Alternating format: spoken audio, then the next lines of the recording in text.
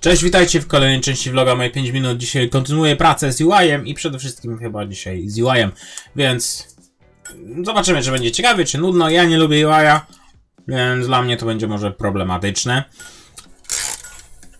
Albo bardzo ciężkie 5 minut. Zapraszam!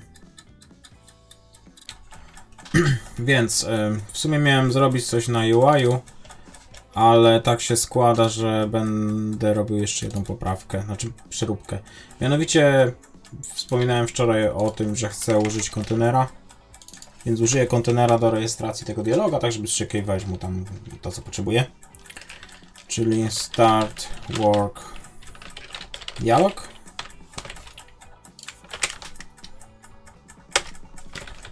E, czyli mam tutaj UI. OK, on będzie się rejestrował.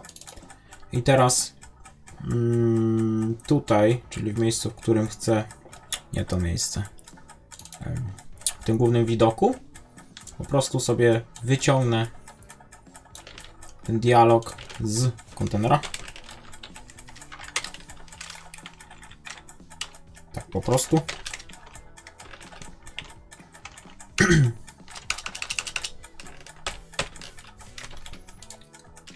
Czyli tak sobie wyciągnę. Nie widać tego. Może sobie troszkę przerobimy widok jeszcze tutaj. Przy okazji sobie pousuwam pewne rzeczy stąd. Tak, żeby kod był czystszy. E, to też jest w sumie niepotrzebne. Albo nie, zostawię. Może się przydać. E, I teraz jeszcze poprawki w samym dialogu.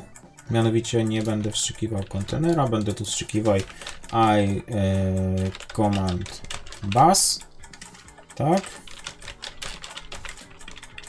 Oraz square bus.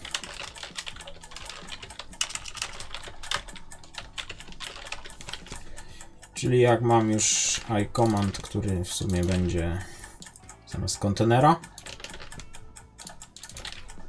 I tu też w sumie Czyli jak już będę miał mój y, command bus, to będę mógł wykonać później to polecenie, a sam query bus po prostu wykorzystam do wyciągnięcia tych danych, więc może nie będę nawet zrzucał do zmiennej.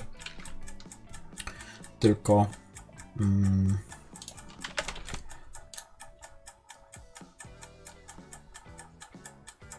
Ok, to chyba jest niepotrzebne. Zobaczymy.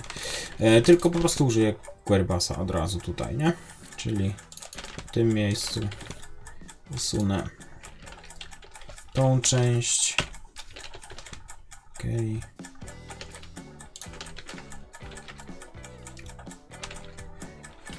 I spróbujemy uruchomić, a jak się uda, to może uda się jeszcze tego UI-a troszkę poprawić brzydkiego.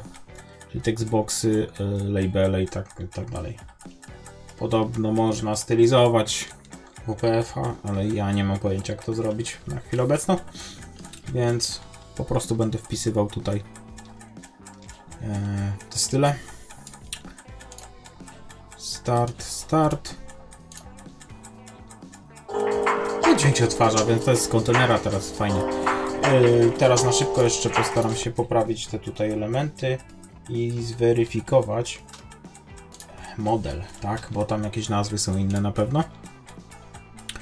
No i przy okazji już tutaj e, zmienię, czyli font Font size mogę sobie zrobić fajnie, nie wiem, 14, zobaczymy jak będzie to wyglądać. Eee, tutaj 14, tu też. I tu też. High, wysokość ścisku na 30.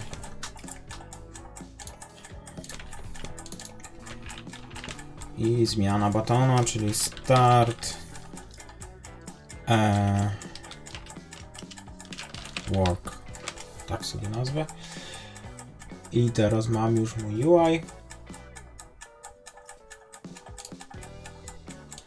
Aktualizacja na Miro.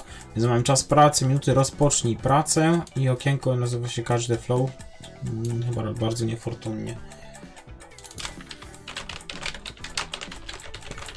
Rozpocznij pracę. Czemu to jest tak w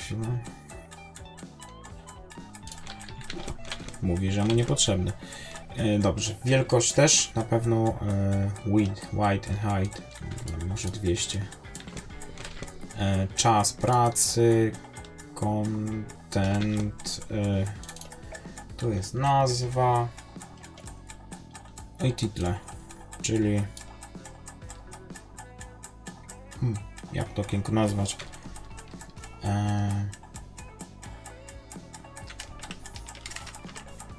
pracy, pracy, rozpocznij pracę.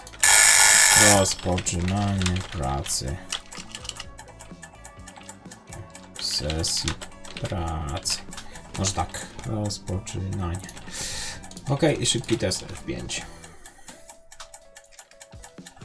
Zobaczymy, czy się troszkę pozmieniało.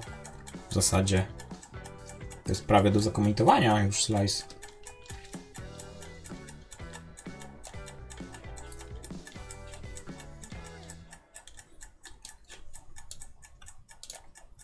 Okienko.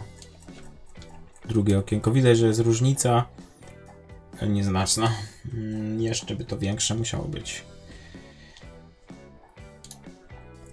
Działa, działa.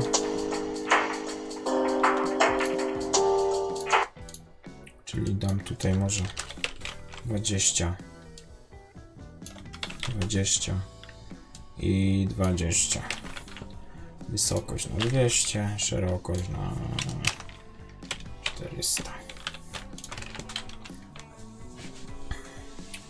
Więc troszkę się to pozmienia. No i jeszcze warto byłoby tutaj ogarnąć te layout, layouty wszystkie, żeby to ładnie poukładać między sobą.